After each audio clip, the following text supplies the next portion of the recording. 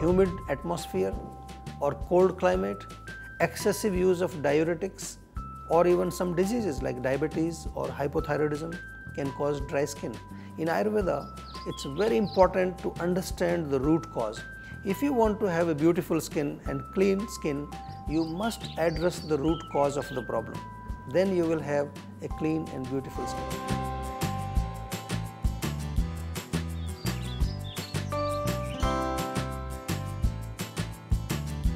One reason why we have dry skin could be your constitution, but did you know that excessive use of chemical cosmetics or even sanitizers and cleansers can also cause dry skin?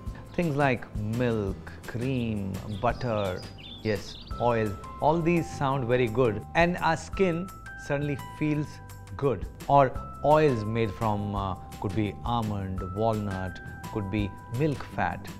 Everything skin would love. On dry skin, if we need to clean it, if we need to exfoliate it, then you need a nice scrub and that scrub has to be customized for your skin type. For that, here's a simple recipe. Take 6 to 8 almonds, 4 tablespoons of milk and 1 tablespoon of honey. Blend it all together, not too fine. It will become a nice paste.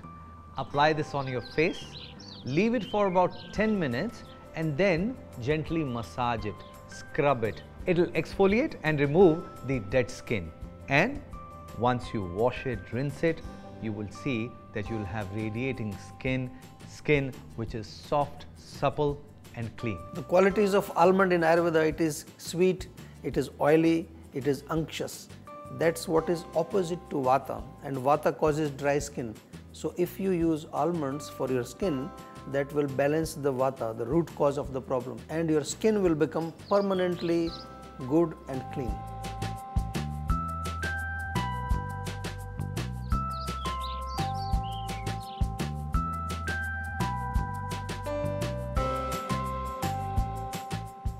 Milk is also a good cleanser. It is also lubricating because it has fat inside and in Ayurveda we also need internal oiling so therefore, you can also drink milk. Honey is a great ingredient.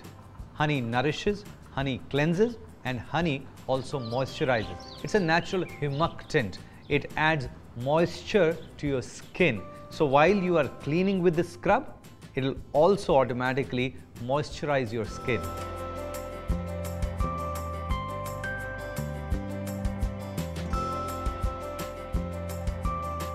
The important part of beauty according to Ayurveda is of course physical application of things, physical care but also mental and spiritual care is very very important. Living beings take care of themselves naturally.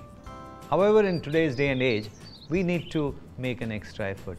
That is why we need to remove the dead skin. That is why need for these scrubs. But if you want to take real good care, take it naturally. Let the nature take over. Eat things sensibly. Do not fall into the trap of modern day diets or things which you know are not good for you. Things which are full of preservatives, artificial colors, anything that is artificial will ruin you, including your skin.